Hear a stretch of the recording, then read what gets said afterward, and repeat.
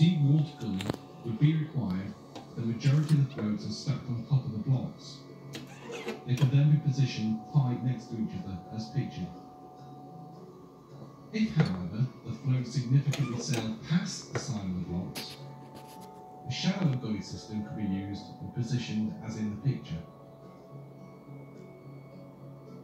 There is significant evidence that spring water bubbled up under the pyramid, fed from the water of the significantly higher Lake Moeris, as a natural spring and the lake lies directly underneath the pyramid.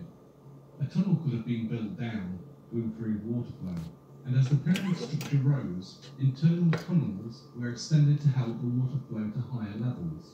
As the pyramid got higher, water pressure would slowly reduce, so smaller extension channels were built upwards from the king and queen's chamber